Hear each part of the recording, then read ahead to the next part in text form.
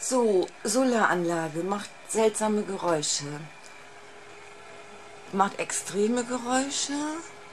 Und das Extremste ist, dass ich im Moment eine solare Einnahme von 34 kW habe. Jetzt, in diesem Moment.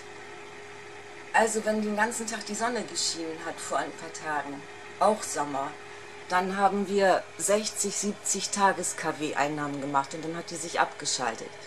Es ist gerade anscheinend sonnentechnisch dreht hier irgendwas völlig am Rad.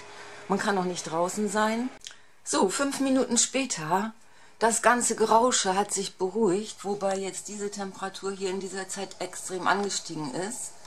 Ich gucke nachher nochmal eben genau, welche Zahlen das sind da.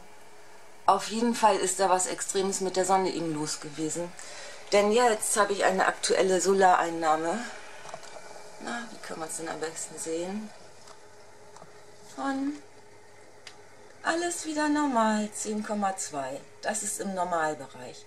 Hoch, no, naja, hochstehende Sonne, wir haben jetzt äh, halb fünf, 10,2, absolut normaler Wert. Was war da denn bitte mit der Sonne los, hä?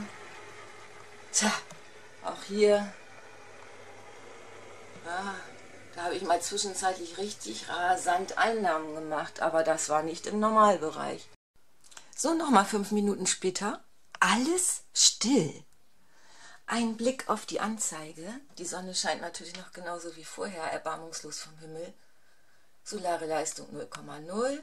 Die Anlage hat sich abgeschaltet, weil der Speicher voll ist. Tagesgewinn 32. Alles wieder im Normalbereich. Aber das war nicht normal, was da los war. Das möchte ich mal erklärt haben.